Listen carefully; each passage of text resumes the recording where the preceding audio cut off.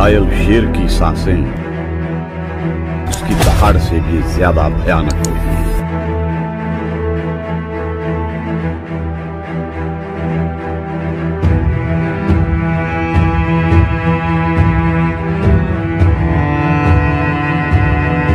जो नाकामयाबी को गले लगाना नहीं जानता।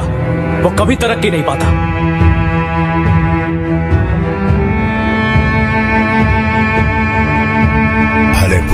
दुनिया तुम्हारे खिलाफ हो जाए, हालात मुश्किल हो जाए, और चीख चीख कर तुमसे कहे कि तुम बुरी तरह हार चुके हो, मगर जब तक तुम्हें अपने आप पर भरोसा है, तब तक कोई भी, कहीं भी, और कभी भी तुम्हें हरा नहीं सकता।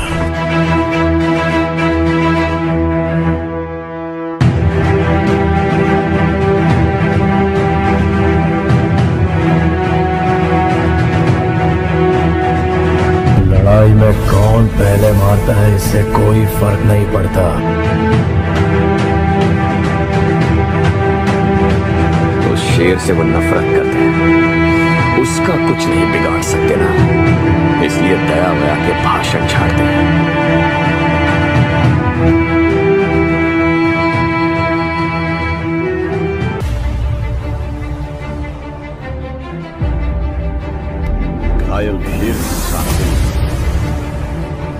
पहाड़ से भी ज़्यादा भयानक होगी